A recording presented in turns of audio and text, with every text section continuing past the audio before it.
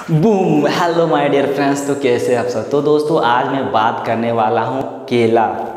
तो ये रहा केला यानी बनाना। तो आज हम इसी के बारे में बात करेंगे कि बनाना कि, किस तरह का फ्रूट है। इसमें क्या क्या होते हैं? अगर इसको आप खाते हैं तो बॉडी में किस तरह के चेंजेज होते हैं? और अगर आप इसको गलत तरीके से खाते हैं तो किस तरह से नुकसान हो सकते हैं? अगर आप जानना चाहते हैं तो वीडियो को लास्ट तक देखते रहिए।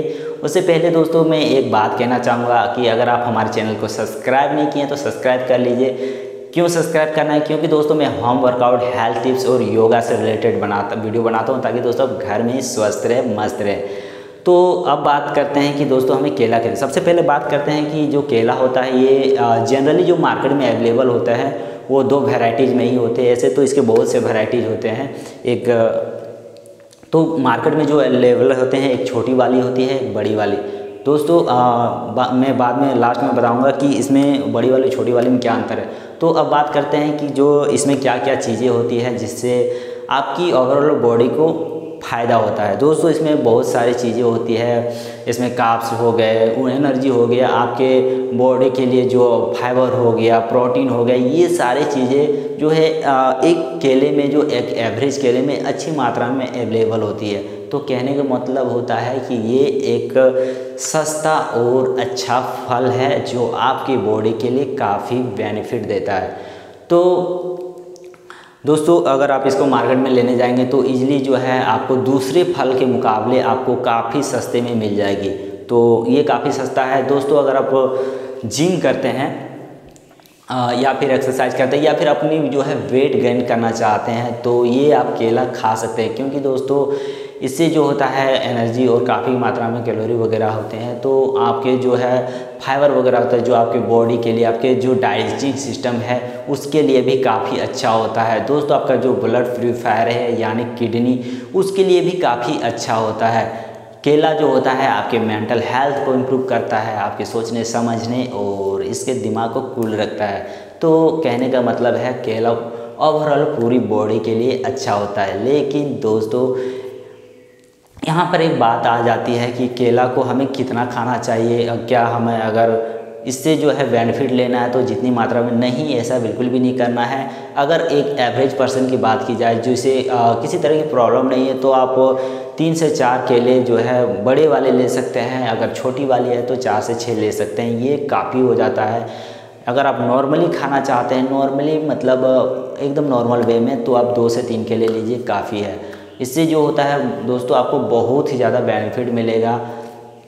केले की बात की जाए तो इस, ये जो है आपकी भूख मिटाने में भी काफ़ी काम आता है। क्योंकि दोस्तों, अगर आपको आपको भूख लगी है और तीन से चार केले खा लेते हैं तो आपकी भूख शांत हो जाएगी और ये बहुत ही अच्छा होता है। जो लोग डाइटिंग कर रहे हैं तो वो लोग केला खा सकते हैं। इससे क्या हो कि बहुत ज़्यादा बॉडी को, जो है कार्बो काप्स वगैरह लेने की ज़रूरत नहीं पड़ती है। और इससे इससे अगर भूख शांत हो जाए तो इससे जो है आपकी बॉडी में एनर्जी तो मिल भी जाएगी और साथ ही साथ आपका बॉडी फिट रहेगा। तो इसको दोस्तों जनरली दो तरीके से भी यूज़ किया जा सकता है। वेट गेन करने के लिए भी वेट को लूज करने के लिए भी किया जाता है। बट डिपेंड करता है कि आप उसको किस तरह से खाते हैं। अगर आप उसको सुबह खाते हैं तो इससे जो होता है आपकी भूख मर जाती है और आप जो है लंबे समय तक भूखे रहते हैं, भूखे नहीं रहते हैं सॉरी आपको जो है एक्स्ट्रा जो है कैलोरी की ज़रूरत नहीं पड़ती है क्योंकि आपकी भूख मिट चुकी है तो इससे जो है आपको बॉडी को बेनिफिट मिलता है। दोस्तों, एक चीज़ यहाँ पर मैं एक्स्ट्रा चीज़ ऐड कर दे रहा हूँ कि आप अगर जो लोग सोचते हैं कि मैं भूखे रहूँगा तो मेरी वेट लूज हो जाएगी, ये बहुत ही गलत फहमी होता है। ऐसा नहीं करना चाहिए, इससे बॉडी कमज़ोर हो जाती है।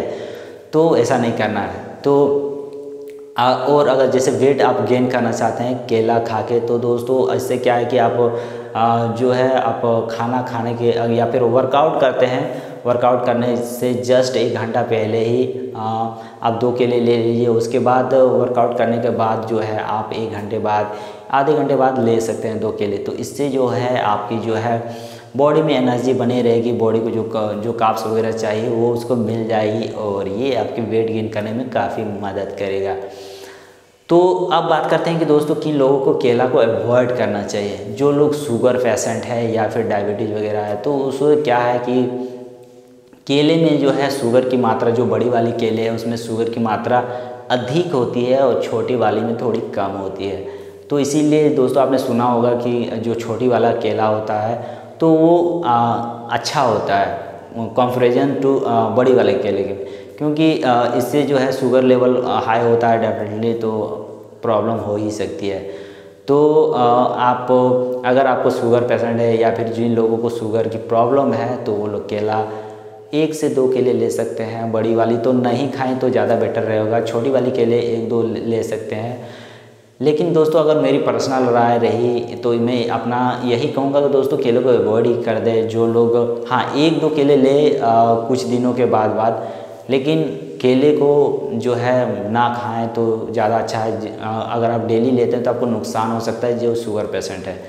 दोस्तों केला एक जो है जल्दी डाइजेस्ट होने वाली चीज़ नहीं है। तो आपने हो सकता है सुना होगा या फिर नहीं कोई बात नहीं मैं बता देता हूँ कि जो केला होता है वो जल्दी डाइजेस्ट नहीं होता है जिस कारण अगर, आप दो तीन चार केले खा लेते हैं और आपकी पेट खराब हो जाती है तो इसका मतलब आपका डाइजेस्टिंग सिस्टम स्ट्रॉन्ग नहीं है इसका मतलब आपको केले को एवॉइड करना है। आप एक दो केले खा सकते हैं अगर आप एक दो केले खाते हैं उसमें भी आपको पेट खराब हो जाता है तो फिर मत ही खाइए।